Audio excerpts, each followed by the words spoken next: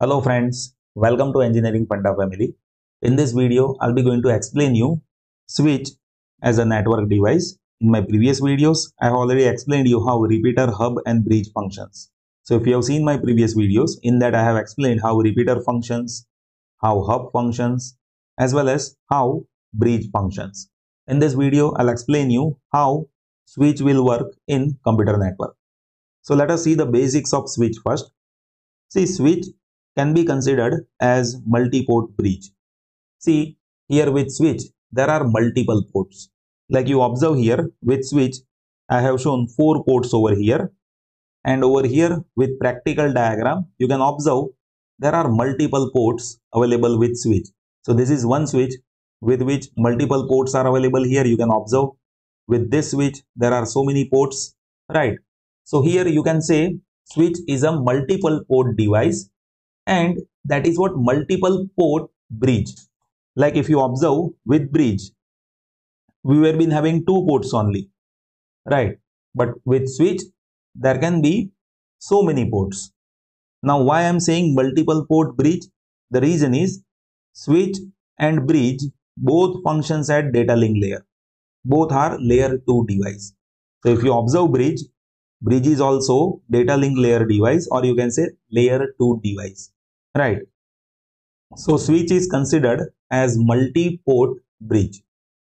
There are some questions that usually comes in UGC net examination in which they may ask you like switch works at which layer? So you should know it works at data link layer or you can say it is working at layer 2 right.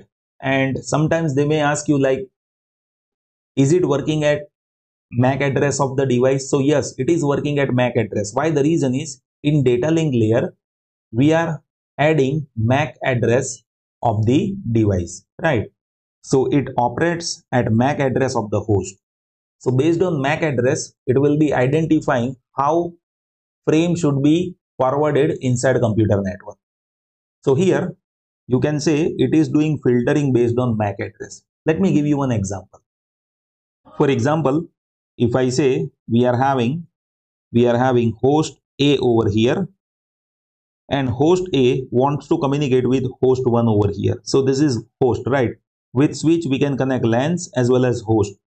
So here host a wants to communicate with host 1 so here what will happen? Here switch will come into the picture.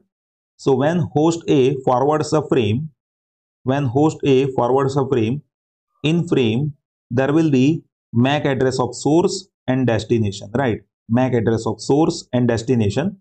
And based on MAC address, the switch will route this frame towards host 1. Switch will route this frame towards host 1, right? So here you can say this switch is passing frame based on MAC address, right? Now how it does filtering, let me show you that case even. So for example, here inside LAN 2, let us say we are having host P and host Q. So here what will happen? As if I say host P is sending frame to host Q. Then simply, simply here host P will be transferring data in ho towards host Q, right? And it is there in same LAN. But if you observe this, this frame that will also go towards it will also go towards switch right? And switch will be observing this host p and host q both are there with mac address which belongs to lan 2 only. So it will not forward this frame to any other port which is available over here right? So it does filtering but that filtering happens based on mac address. Remember this. Now very essential point that comes that is based on buffers and processing power. See switch is having buffers and it is also having processing power. Let me show you how it uses buffer. For example, as if HA is sending frame to host 1, then the frame forwarded by HA that is getting stored inside buffer of switch first and then it will be performing error check as if that frame is error free then only the switch will forward this frame to host 1 So for error checking, it is having some processing power.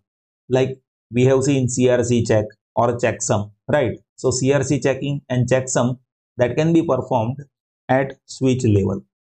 Nowadays with this 2023, you will be observing switch comes with some processing power, but with older version of switch that was having some combinational circuits inside with which it was calculating that CRC. Right. So nowadays switches are available with some processing power in which it will be checking error before it forwards the frame. So this is how some basics are there with switch. You should know switch is multi-port device. It is working at data link layer. It is having some processing power inside. It forwards frame with error checking, right? It forwards frame with error checking. So you can say here collision domain that is very less with switch compared to previous device. We have seen previous device, right? Bridge as well as hub as well as repeater. So if you see all those devices in that we have been having more chances of collisions. Why? The reason is with repeater all the host can have signals inside repeater. With hub also signal will go via this hub. So all the host can transfer the signal over here with hub and here with bridge also all this host can transfer data via bridge. So collision domain that was bit more with repeater and with hub collision domain is highest. With bridge we are reducing collision domain up to some extent because of it is layer 2 device right but with switch it is having lower collision compared to previous devices. Why the reason is it is working at data link layer but along with that it can perform error check. So that is how comparison is there. In next video I'll explain you router and still if any confusion is there with you please note it down over here in comment section. I'll be happy to help you. Thank you so much for watching this video.